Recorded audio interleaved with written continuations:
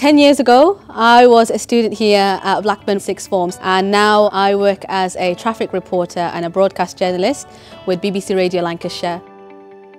Uh, the best thing about Blackburn Sixth Form is probably how supportive the teachers are and how much they help. I think it was making friends within the class and being able to have decent conversations that weren't just about the subject. Blackburn Sixth Form was really good. I really enjoyed the teaching and the general environment. The teachers, they were extremely helpful, especially with my dyslexia and dyspraxia. They accommodated to me completely. So my three words to describe Blackburn Sixth Form are inspirational, dynamic and challenging. Different, compassionate and exciting. Hardworking, inclusive and supportive.